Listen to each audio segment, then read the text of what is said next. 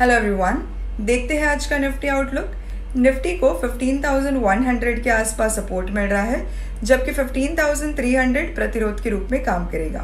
Bank Nifty की बात करें तो बैंक निफ्टी को 34,100 के आसपास सपोर्ट मिल रहा है जबकि 35,250 प्रतिरोध के रूप में काम करेगा।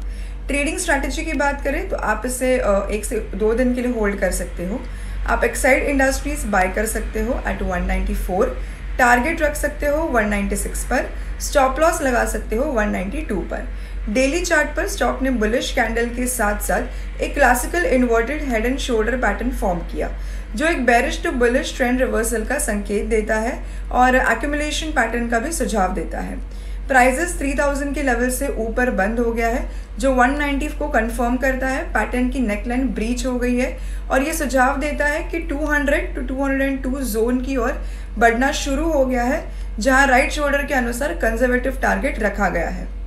आप इनफैक्ट सेंचुरा इनका लिमिटेड ये कंपनी के शेयर्स भी बाय कर सकते हो एट 308 टारगेट रख सकते हो 311 पर स्टॉप लॉस लगा सकते हो 305 पर। Eight day period moving average एक ब्रिलियंट सपोर्ट लाइन के रूप में कार्य कर रहा है और इसने रेगुलर इंटरवल्स पर सपोर्ट किया है।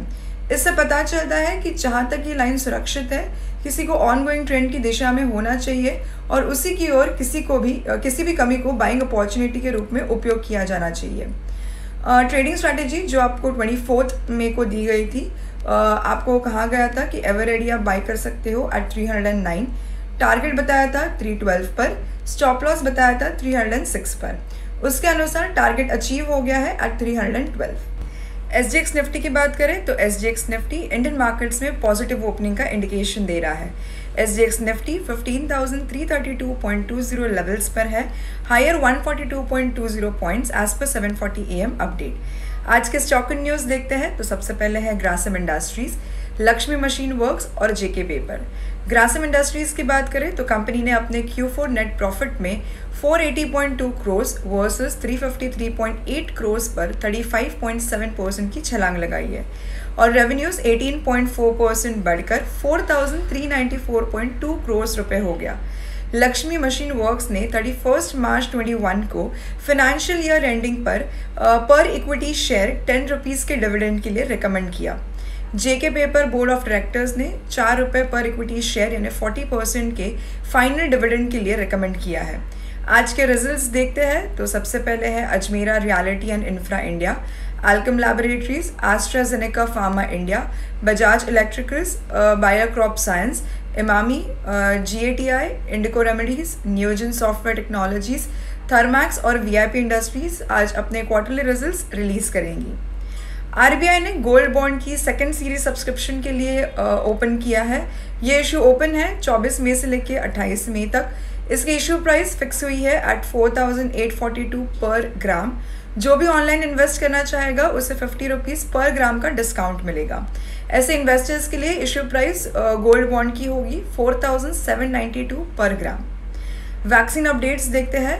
रशिया की स्पटनिक वी वैक्सीन इंडिया में पैनिशिया बायोटेक ने मैन्युफैक्चरिंग के लिए स्टार्ट कर दिया है। क्वालिटी टेस्टिंग के लिए फ़र्स्ट बैच रशिया में भेजा जाएगा।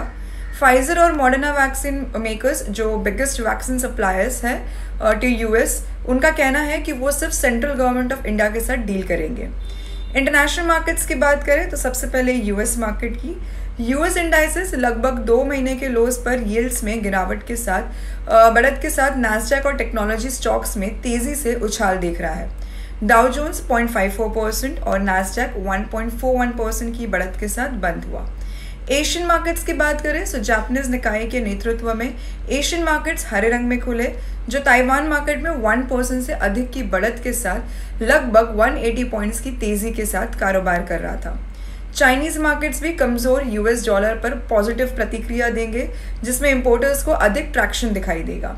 ऐसे इंपॉर्टेंट अपडेट्स आपसे मिस ना हो, इसके लिए हमारे फाइव पैसे चैनल को लाइक शेयर और सब्सक्राइब करें और नोटिफिकेशंस के लिए बेल आइकन पर क्लिक करें।